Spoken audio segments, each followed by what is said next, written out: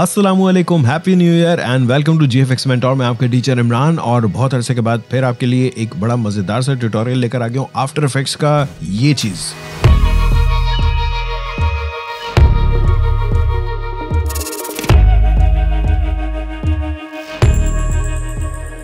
ये कहलाता है पैरालेक्स और थ्री डी पैरालेक्स। बहुत सिंपल सी चीज़ है हो सकता है आप में से बहुत सारे लोगों को पता हो ऑलरेडी किस तरह से लेकिन जिनको नहीं पता ये उनके लिए है। इसमें हमें क्या ज़रूरत है?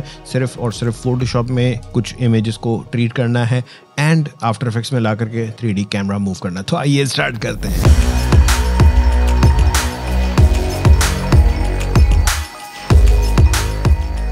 Alright, welcome back so first of all हमें इमेजेस चाहिए और इमेजेस के लिए हम जाएँगे ट्रस्टेड अनस्प्लैश या पैक्सल्स जहाँ पर भी आपको मिल जाए इमेजेस वैसे जो मैं इमेजेस यूज़ करूँगा वो मैं नीचे लिंक में दे दूँगा आप लोगों को। सो so, सबसे पहले तो मैंने एक प्लेन स्काई सर्च किया है यहाँ पर और आई थिंक ये स्काई बड़ा बेहतरीन है। ओके okay जी सो so ये स्काई मैंने सेलेक्ट कर लिया। Then I need some mountains yes this one and finally हमें चाहिए ट्रीज़ तो बेसिकली हमने ये तीन इमेजेस फाइनल किए हैं और लेट मी शो यू कि ये क्या इमेजेस हैं।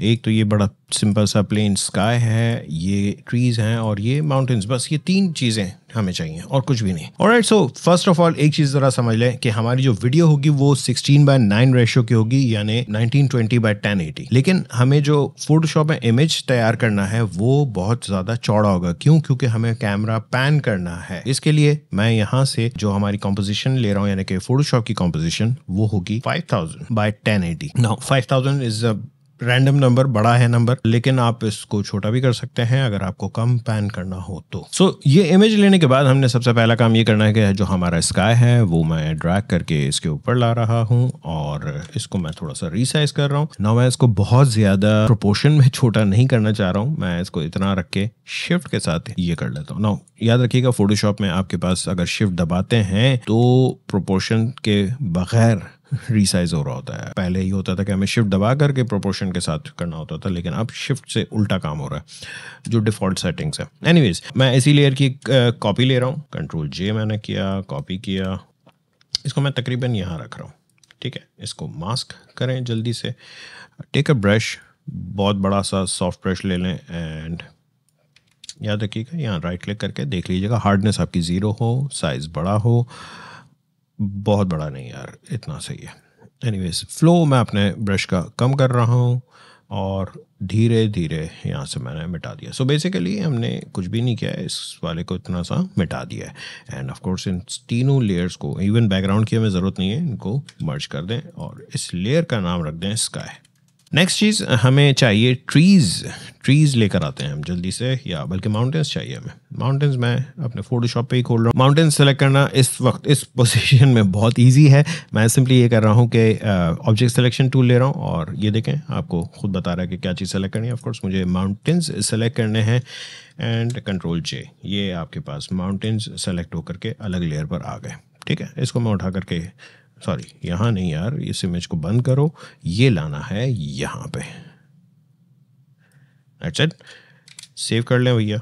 सो so, इसको छोटा करें। ना याद रखिएगा कि यार ये माउंटेन्स जो हैं क्वाइट बिग मैं छोटा ज़रूर कर रहा हूँ लेकिन हमें साथ साथ इसकी कॉपीज़ भी लेनी है। ना सिंपली मैं कॉपी लेकर के भी वही सारा काम कर रहा हूँ जो कि पहले किया था एंड एक्चुअली इतना दिखेंगे नहीं कोई मसला नहीं है टेंशन ना लें।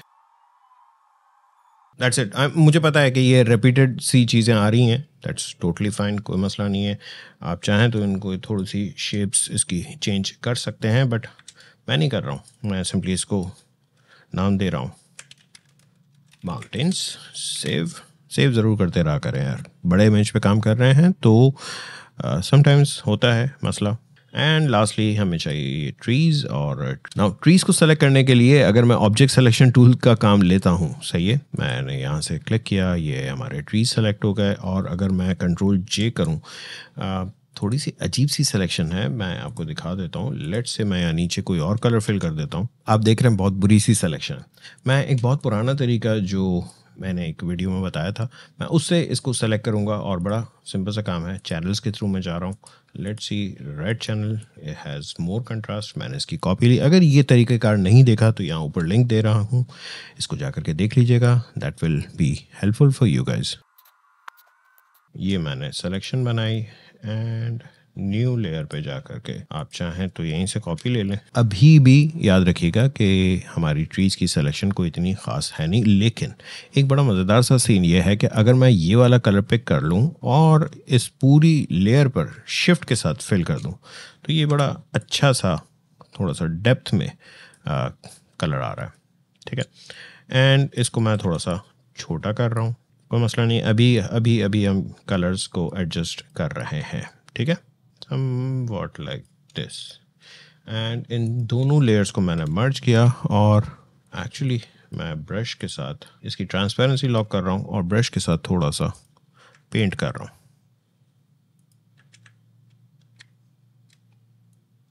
डार्क फ्लो और कम कर रहे हैं। And somewhat like this so basically यार, ये कुछ ट्रीज़ हैं हमारे एंड दैट्स इट ये हमारा एक सीन बन गया। बहुत सिंपल सा, बहुत ही सादा सा। इसको मैं सेव कर रहा हूँ। आई मीन इस लेयर का नाम चेंज कर रहा हूँ। ट्रीज एंड सेव स्काई को थोड़ा सा मैं एडजस्ट कर रहा हूँ बिकॉज़ स्काई थोड़ा सा नीचे था। And somewhat like this I think मुझे ट्रीज़ को थोड़ा और डार्क करना है। ट्रीज़ को हमने थोड़ा सा डार्क किया है। ना अब ये लेयर्स हैं थोड़ी सी बड़ी सी कोई मसला नहीं है। ये हम अभी जब वहाँ आफ्टर इफेक्ट्स में जाएँगे तो सारी चीज़ें एडजस्ट हो जाएँगी। इसको सेव करें एंड आ जाएँ आफ्टर इफेक्ट्स में। आफ्टर इफेक्ट्स में हमने जल्दी से ये पी को इंपोर्ट किया, लेकिन याद रखिएगा जब आप इस पीएचडी को इंपोर्ट कर रहे होंगे तो मेक श्योर sure कि आप इंपोर्ट एज पे जाके कॉम्पोजिशन रिटेन लेयर साइज़ करें।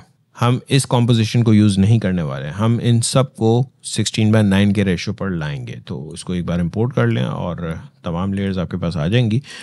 सी ये composition is way too large हमें ये नहीं चाहिए। हमें क्या चाहिए? न्यू कॉम्पोजिशन सो याद रखिएगा कि ये कॉम्पोजिशन हम बना रहे हैं टेन एटी पर। तो सिंपली यहाँ पर आपके पास कस्टम साइजेस में भी दिया हुआ है प्रीसेट सो so, ये आप ले सकते हैं। लेट्स गो फॉर 24 एफ़ ठीक है?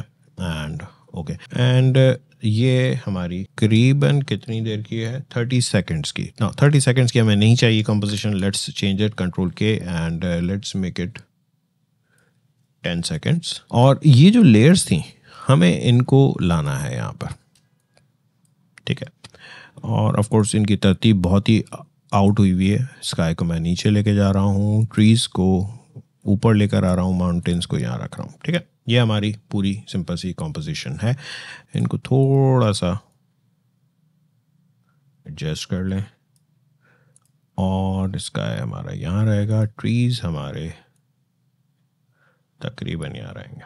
प्लस इन सबको मैं कर रहा हूँ थ्री ठीक है? और एक ले रहा हूँ कैमरा और अगर मैं अपने कैमरा को मूव करता हूँ, मिसाल के तौर पर ठीक ये याद रखिएगा कि इस तरह से मूव हमें नहीं करना है। हमें इनफैक्ट क्या करना है कि we need two views right और टू व्यूज़ के लिए बड़ा सिंपल सा यहाँ से मैं आकर के यहाँ से ले रहा हूँ। टू व्यूज़ ये वाला हमारा जो व्यू है दैट वुड बी हमारा कैमरा वन और ये वाला व्यू जो है, मैं रख रहा हूँ टॉप व्यू ठीक है जी? ना इस वक्त करंटली आपको दिख रहा है कि जी, ये हमारा कैमरा है ट्राइंगल और ये जो लकीर है, ये वो सारी लेयर्स हैं। सो स्काई सबसे पहले तो मैं ले रहा हूँ और स्काई को मैं लेके जा रहा हूँ पीछे, दूर, बहुत दूर कर रहा हूँ। डोंट वरी ये अभी यहाँ पर बड़ा अजीब सा दिख रहा है। दूसरी चीज़ है हमारी माउंटेंस इनको मैं यहाँ रख रहा हूँ, ठीक है। एंड दैट्स इट सो अब अगर मैं अपने इस कैमरा को यूँ मूव कर रहा हूँ तो कुछ यूँ दिख रहा है। लेकिन आप एक चीज़ देखें कि जो हमारा स्काई है, वो बहुत छोटा सा हो चुका है। वॉट वी कैन डू कि हम स्काई को स्केल अप कर देते हैं। सो एस मैंने प्रेस किया और इसको मैंने स्केल अप कर दिया। That is covering the whole thing and mountains को मैंने थोड़ा सा स्केल अप किया। एंड यस yes, इनको आप चाहें तो मूव कर लें या नीचे की तरफ़। ठीक है जी? एंड आपने सिंपली एनिमेट करना है अपना camera point of interest and position दोनों को सेलेक्ट करना है. बट पहले मैंने स्टार्ट लिया यहाँ से और 10 सेकंड में मैं जा रहा हूँ सिंपली यहाँ पे. नाउ अब ज़रा इसकी एनिमेशन चेक करें. So this is kind good ये बहुत सिंपल है. हमने सिर्फ़ देखा जाए तो सिर्फ़ दो ही लेयर्स को एनिमेट किया हुआ अगर आप चाहें तो स्काई को थोड़ा सा ऊपर ले आए. स्काई को सेलेक्ट करें ज़रा. एंड आई गेस यहाँ पर स्काई को ऊपर ले आए। जैसे स्काई का आपको टेक्सचर चाहिए, आप यूज़ कर सकते हैं। ना याद रखिएगा कि कलर करेक्शन जो भी करनी है आप आ, कर सकते हैं। मैंने बड़ी सिंपल सी चीज़ की है इसमें कोई इतनी ज़्यादा डेप्थ शायद आपको ना दिखे लेकिन सिर्फ़ दो लेयर्स पे ही आपको काफ़ी इंटरेस्टिंग सा रिज़ल्ट मिल रहा है। ये कहलाता है पैरालेक्स जब दूर की चीज़ स्लो मूव हो रही होती है और करीब की चीज़ फास्ट मूव हो रही होती है। आप बहुत सारी लेयर्स में भी ट्रीज़ रख सकते हैं आप बहुत सारी लेयर्स में चीज़ें रख सकते हैं बर्ड्स उड़ा दें जो भी करना है कर लें। ना ये बड़ा सिंपल सा एक तरीक़ेकार है आप इससे बहुत इंटरेस्टिंग किस्म के थ्री डिमेंशनल चीज़ें बना सकते हैं। So let's let's add something else so मैं यहाँ पर टेक्स्ट डाल रहा हूँ। ठीक है, मैंने simply happy new year type किया इस लेयर को मैं ट्रीज़ के पीछे रख रहा हूँ। ठीक है जी।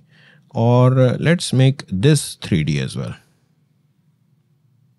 और ये जो हमारी टेक्स्ट वाली लेयर है, इसको सेलेक्ट करके मैं यहाँ रख रहा हूँ। इनफैक्ट अब इन सब चीज़ों को मैं थोड़ा और दूर कर रहा हूँ।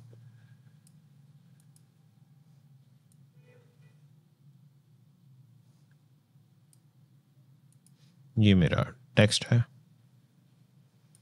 और ये मेरे ट्रीज है। ठीक है, चलाएँ अब ज़रा इसको।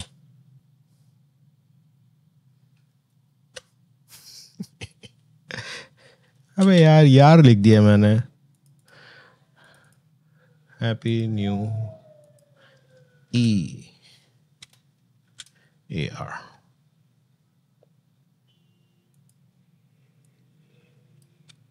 and I think text को मैं थोड़ा सा बड़ा भी कर रहा हूँ। Let's go and select text font I think ये यहाँ दिख रहा है हमें।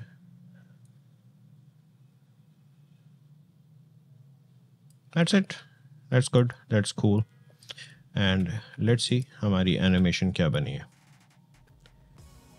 That's it this is something really good happy new year back पे कहीं छुपा हुआ सा दिख रहा है हमें। Let's go to one view and see this so this is it ये बड़ा सिंपल सा एक uh, uh, था, बहुत सिंपल सी चीज़ थी, इतनी ज़्यादा डिफ़िकल्ट नहीं थी। आई होप आप लोगों को ये पसंद आया होगा, अगर पसंद आया तो प्लीज़ लाइक करें शेयर करें दोस्तों के साथ और सब्सक्राइब नहीं किया तो प्लीज़ सब्सक्राइब करें। Thank you